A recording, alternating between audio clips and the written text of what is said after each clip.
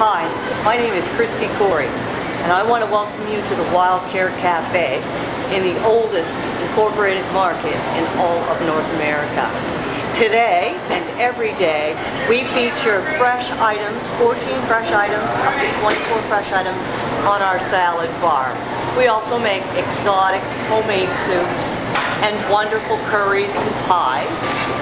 Everything here is fresh, made daily, and very healthy for you.